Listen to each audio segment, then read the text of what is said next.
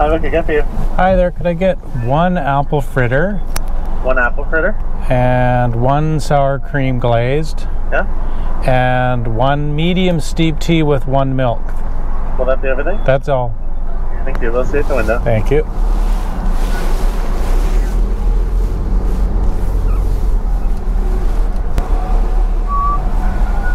Hi, 543 please. Hello. Here you go. Thank you. Here you go, sir. Thank you very much. Have a good one. You Bye-bye. too. Bye.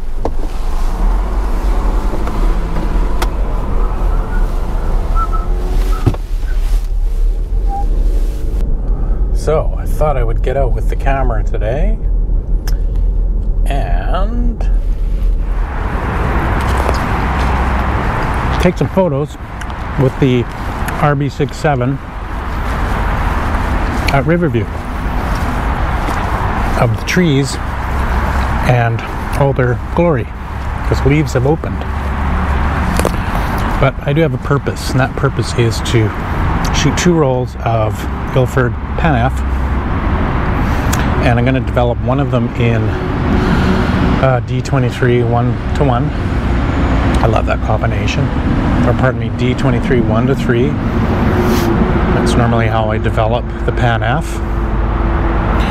and then I'm going to develop the other roll in D23 diluted 1 to 10 spiked with sodium hydroxide. I've heard a lot of good things about that. It's supposed to show a little bit more grain, a little bit more acutance, more edge effects. so finally I have that opportunity to do that. And it's a wonderful day. It's not pouring rain like it has been. I'm talking buckets of rain all the leaves are open in their glory. It's wonderful. So did, there are clouds, so I will be dealing with the sun one minute and no sun, sun the next. I would like to photograph with the sun out. And I think I'm going to start with my five maples over here. But before I do that, I got to finish this donut.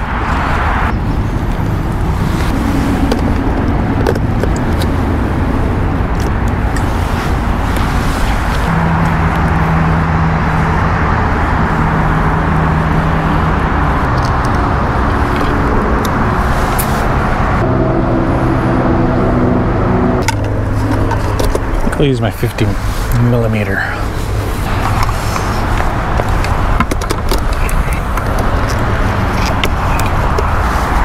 Wind has picked up a bit. Wait a minute, that's not my 50 millimeter.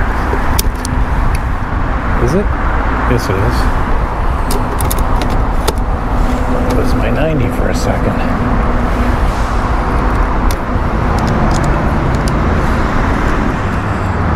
This will allow me to get in close, which I want to do. And overemphasize this tree. Alright, I shoot normally shoot Pan F at an EI of 25 with the D23 1.3. Now apparently the sodium hydroxide gives it a little bit of a boost. I wonder how much that's it's going to affect the uh, film speed. I think I'm going to shoot it at EI, both rolls at EI 25 anyways. It's kind of nice, soft light. It's enveloping everything. Shadows are quite bright. Contrast looks about normal to me. This is probably the darkest area here, even though it's not that dark. Maybe on the ground, second at f22 and a half. That tree is probably a lot brighter. One second at 22. Oh, that one's darker over there. This one. Right there. Took readings here. Three stops brighter than here, and then the road way over there was five stops brighter than here.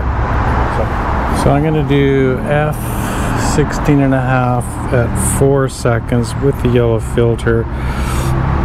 So I need to check my reciprocity for four seconds with Pan F. Well, I don't think it's much of an increase at four seconds. That's a five second exposure.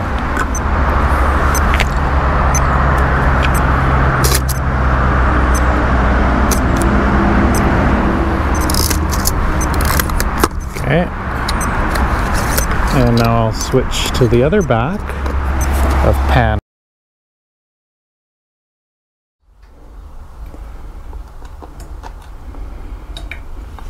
That's looking pretty good. Hey everybody, welcome to my dark room. That is the roll that received uh, D23 diluted one, two, three. Now I'm going to do the D23 diluted 1 to 10 with a little bit of sodium hydroxide in it. I'm going to go mix that right now. Okay, here's the diluted D23. And now I'm going to put in the hydroxide de soda. Be really careful using this stuff because it can heat up our solution. But we're using a little bit, 0.2 grams. And I'll put that in.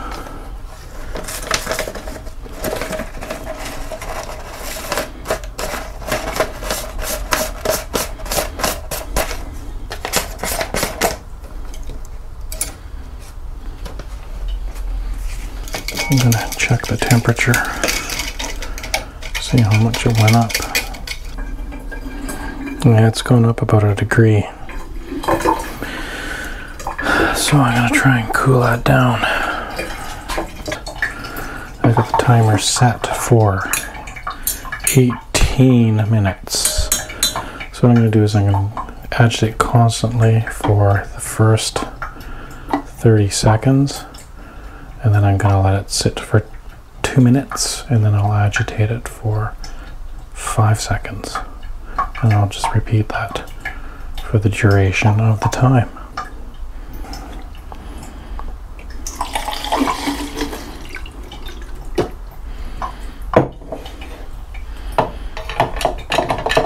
Start the timer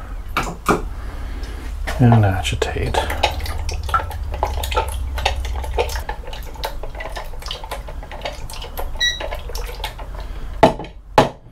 Okay, I'm gonna let that sit for two minutes and then I'll agitate it again. So why don't you guys come back when I'm fixing. Here is the spent developer. It's really yellow. I had to be really careful. I didn't put this beside my uh, stop bath because stop bath is exactly the same color. We are in the photo flow. Let's see what we got. Definitely has a different color, color I think.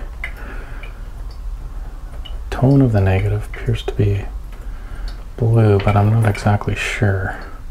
Film base looks stained yellow.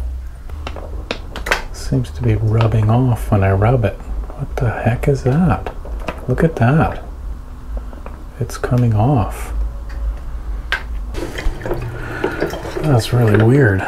Never ever seen that on a film before. I wonder what caused that. I'm going to keep washing the film and then I'm going to hang it up to dry and take a closer look at them. Okay, here we have the negatives. This, the ones on the left are the, this is D23 spiked with sodium hydroxide and this is D23, 1 to 3. There's quite a difference, wouldn't you say? Let's look at the film base first, because if you re remember when I pulled the film out, the uh, sodium hydroxide spiked film, the base was yellow, but it rubbed off with my fingers. It's very strange. I've never experienced that before. I would love to know the cause of that staining that came off easily with my fingers. So you can see the base fog is much higher than the D23 1 to 3 and I'm going to take readings with my densitometer in a minute just to confirm that. You can see the D23 1 to 3 negatives are a lot cleaner. The EI of 25 looks quite nice. The EI 25 with the spiked D23 I would say 25 is probably too much exposure so probably it's it might be better at maybe 40 I would have to shoot another test roll just to confirm that but you can see it's a lot denser overall in the shadows. You look along the stairs right? It's very very different a lot more density. So let's take a densitometer reading. Zero that out. So the spike to D23 0.24 and the D23 1 to 3 0.09 very different I'm going to take these negatives upstairs and I'm going to scan them in and take a closer look because I really want to see how much the spiked D23's grain was affected and overall sharpness.